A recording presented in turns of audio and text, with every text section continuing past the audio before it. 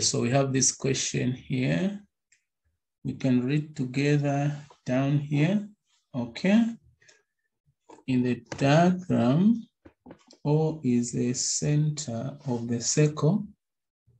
OC is parallel to AD. AB is a straight line and angle OCA is equals to 48. Okay, now calculate calculate angle ABC. Okay, calculate angle ABC. So how do we calculate this angle here? ABC is this angle, isn't it? ABC is this angle here. That's the angle that we're supposed to find. Okay. This angle here. That's the angle, isn't it? So let's do this. If we are familiar with the circle theorems, even angles, you know that OC is a radius, even OA is a radius. In other words, this distance is equal to this one.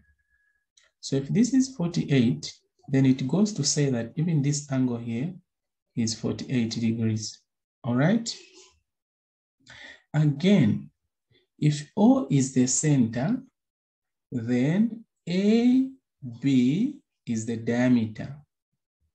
Therefore, the angle in the semicircle is a right angle, which is 90 degrees, isn't it? So it's like we have a triangle here. Okay, if I can do this, I'm trying just to extract this whole angle here is 90, and that is where we have C. We have our B here, and then we have our 48 here. Okay. So what are we supposed to do? The angle that they want us to find is this angle here, which is this one. All right. So as you know that 180, when you divide it by 2, it will give you 90 plus 90, isn't it? Then we already have this other 90 here. So meaning this angle that we want here at B plus this 48, okay? The angle at B plus 48 should give us what? 90 also, isn't it? The angle at B. So I'm going to say A, B, C is equal to 90 minus 48. All right. So what am I going to get? Okay. What am I going to get?